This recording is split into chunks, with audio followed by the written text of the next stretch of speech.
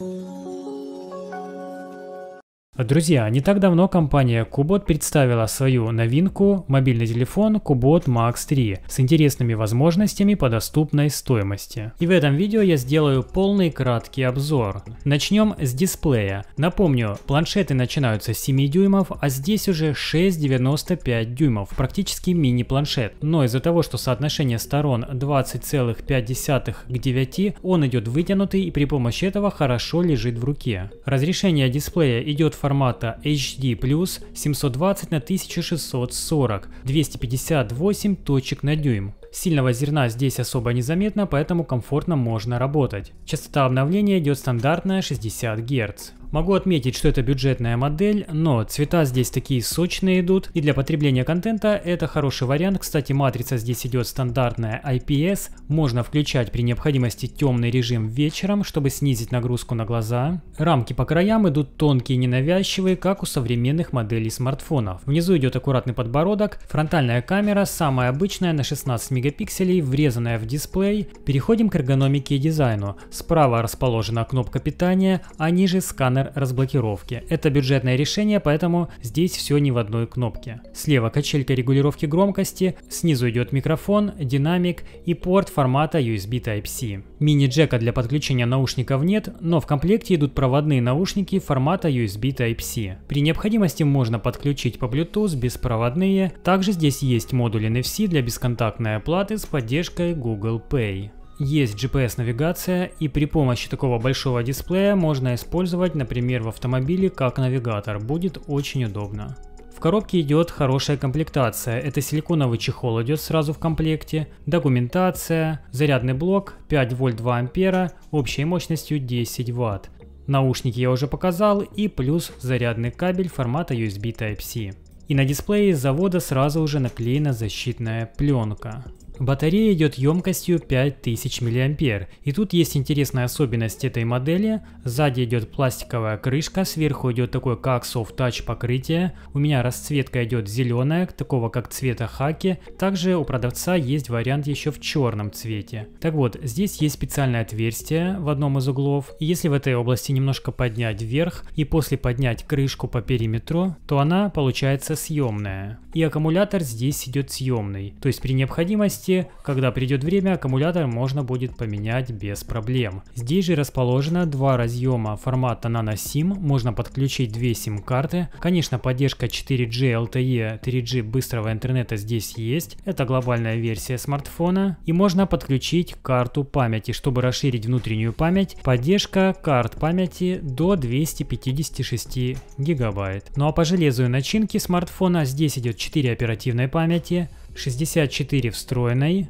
свободно с учетом установленного Android 11 43-42 гигабайта. Если вам мало, то пожалуйста можно добавить карту памяти. Процессор идет MediaTek Helio P22 8-ядерный, выполнен по 12-нанометровому техпроцессу. Тактовая частота 1,8 ГГц.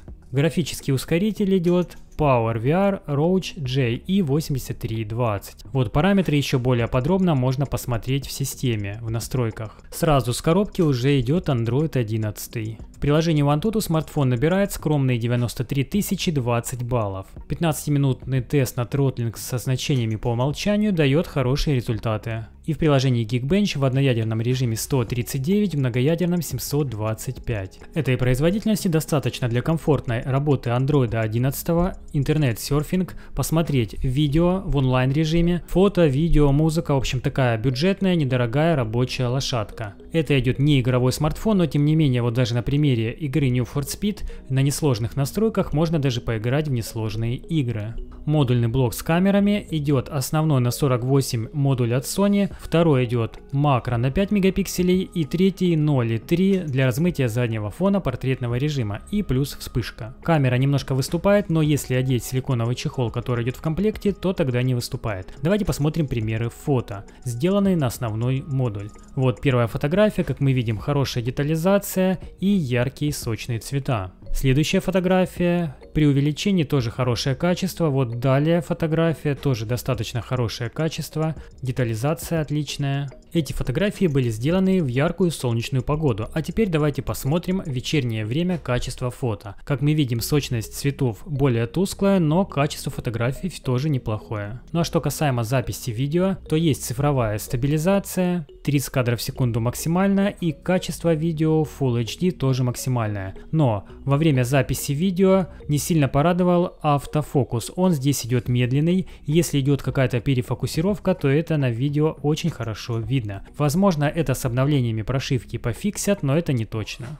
Из приятных бонусов выше дисплея порадовал индикатор уведомлений. Давайте подведем итоги, что мне понравилось, что не понравилось. Понравилась цена. На старте продаж он стоил около 107 долларов, сейчас его можно купить на Алиэкспрессе в районе 120 долларов. Плюс у продавца еще можно взять купон на 3 доллара и купить еще немножко выгоднее. Ссылку на продавца на Алиэкспресс я оставлю в описании под видео, а также ссылку на свой телеграм-канал. Здесь тоже публикую интересные предложения с Алиэкспресс, промокоды актуальные, кому интересно, присоединяйтесь. Ссылку я оставлю в описании, а также в закрепленном комментарии. Так вот, вот, за эту стоимость достаточно современный дизайн с тонкими рамками, очень большой дисплей. Удобно интернет-серфинг, если использовать как навигатор, то тоже большой дисплей. Есть NFC для бесконтактной оплаты, съемная батарея это тоже плюс, Android 11 тоже плюс. Неплохие фотографии на основной модуль получаются, а из минусов могу отметить это медленный автофокус в режиме видео. На этом у меня все. Если видео было полезно, не забудьте поддержать видео лайком. Всем пока и до встречи в новых видео.